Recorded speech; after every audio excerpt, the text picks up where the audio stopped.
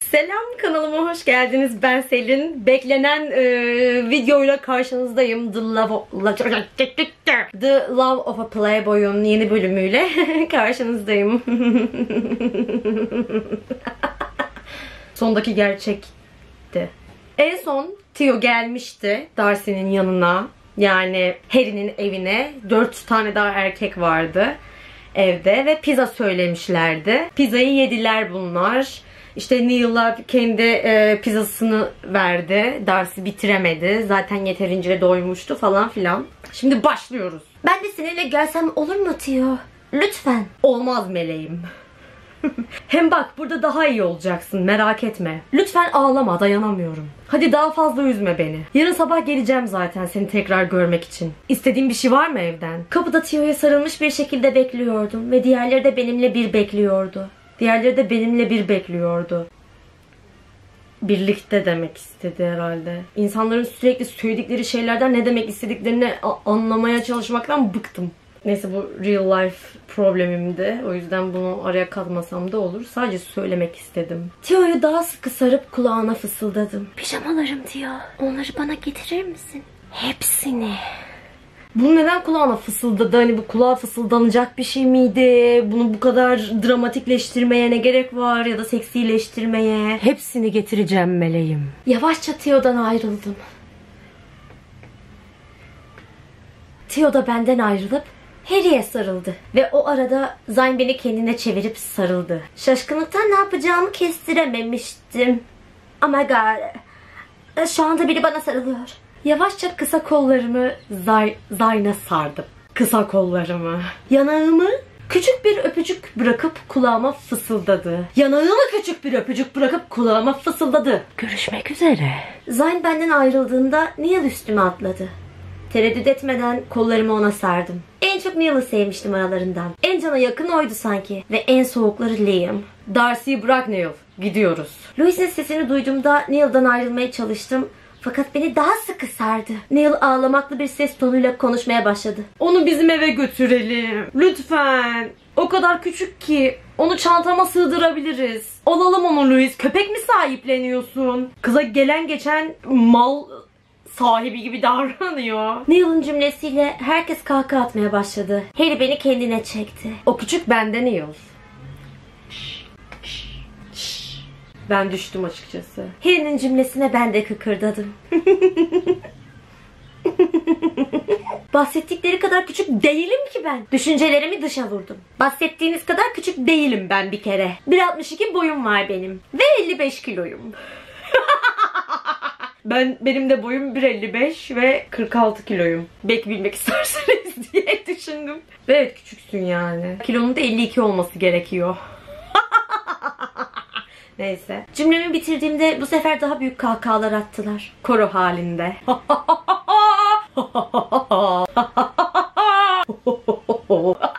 Gülmeyen bir tek ben vardım. Ve sinirliydim. bir insanın fiziksel özellikleriyle dalga geçmek hoş bir şey değildi. Onlar gülmeye devam ederken benim gözlerim. Yuh! Küçük minik dediler sadece tatlı buldular seni. Ne var bunda üzülecek? Ben her gün bununla karşılaşıyorum. Sen biliyor musun? Başımı öne eğip arkamı döndüm ve merdivenlere doğru ilerledim. Kahkahalar kesilmişti. Merdivenlere ulaştığımda biri beni bileğimden tutup kendine çekti. Bu kokuyu tanıyordum. Tion'un eşsiz kokusu. Özür dilerim, çok özür dilerim. Lütfen affet beni. Gülmemeliydim. Üzgünüm. Drama queenliğini senin. Alt tarafı minik küçük dediler ya. Çantama sığar dediler. Ne var bunda ya? Neyse. Bana daha sıkı sarılıp kokumu içine çekti. Ben de kollarımı beline sarıp başımı boynunun girintisine koydum. Tabii bunu yapmak için parmak uçlarımda yükselmiştim. Galiba haklılardı. Ben küçüktüm. Barıştın mı meleğim? Sana hiç küsmedim Tio.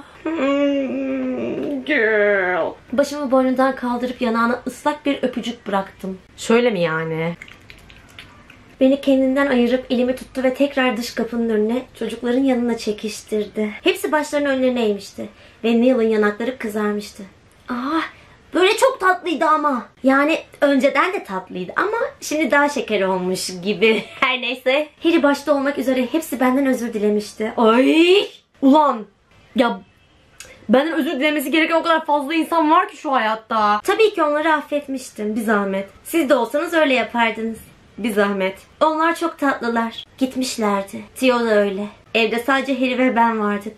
Ve yarım kalan film izleme planımızı ger ger Gerçektirmek üzereydik. televizyonun yanındaki CD çalara filmi taktı.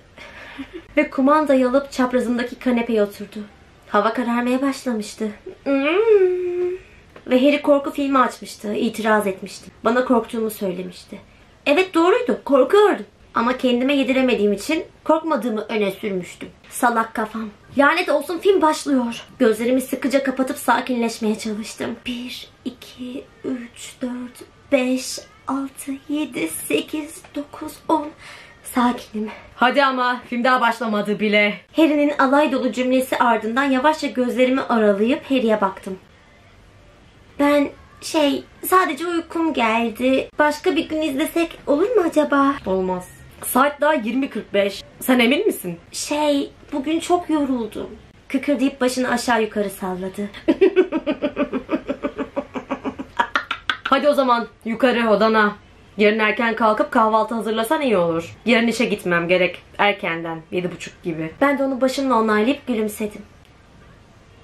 Harry Styles. Darcy odasına çıktığında televizyonu kapatıp merdivenlere doğru uyuşuk adımlarla ilerledim. Odama girip üstümdeki tişörtü çıkarttım. Neredeyse odamın yarısını kaplayan dolabı açıp içinden bir tişört çıkartıp üstüme geçirdim. Neredeyse odamın yarısını kaplayan dolap.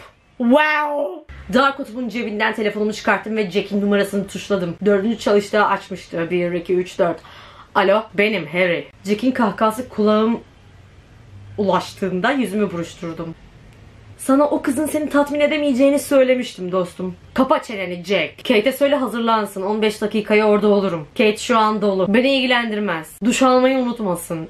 Biliyorsun bu konuda titizim. Konuşmasına izin vermeden telefonu kapatıp cebime sıkıştırdım. Yavaşça odadan çıktım. Harry sen iğrenç bir insansın bu arada. Sen niye duşa girmiyorsun? Her şeyde kadınlardan beklemeyin yeter artık.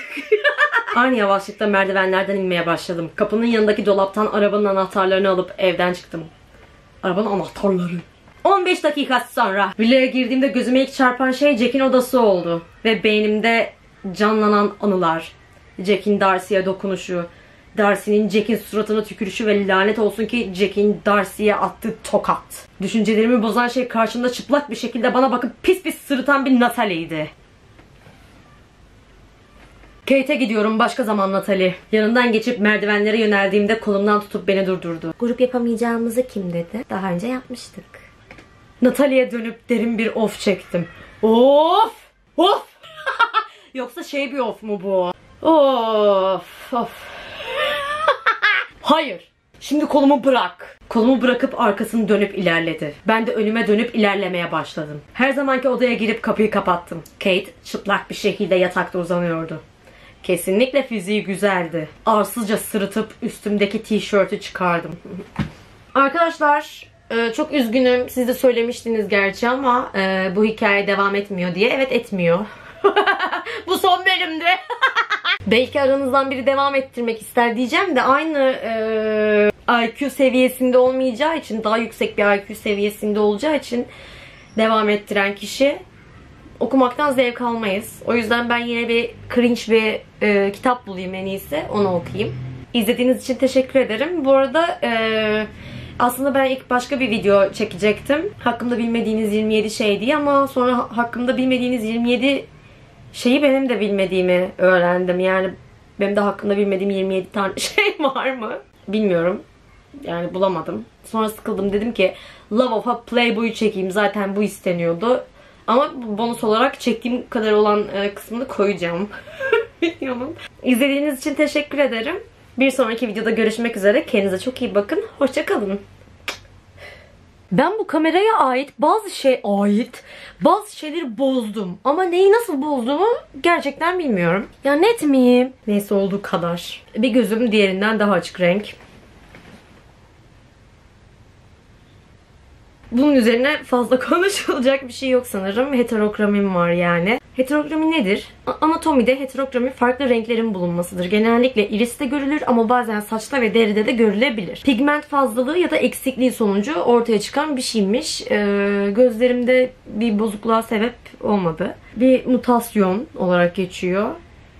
Ben seviyorum. Çok daha belirgin olanlar var aslında. Bu bir gözü mavi, bir gözü kahverengi falan olanlar var. Orta parmağım yamuk. ne kadar dünyanın saçma videosu. Bakın. Bakın. Orta parmağım yamuk. Sağa çekiyor. Bir de bir şeyim vardı. Bunun adı neydi? Üçüncüye geçtik bu arada. Eklem neydi ya bunun adı? Eklem gevşekliği. Hipermobilitem var. Hah, eklem gevşekliği. O da şöyle bir şey. Nasıl yapsam daha rahat görürsünüz ki?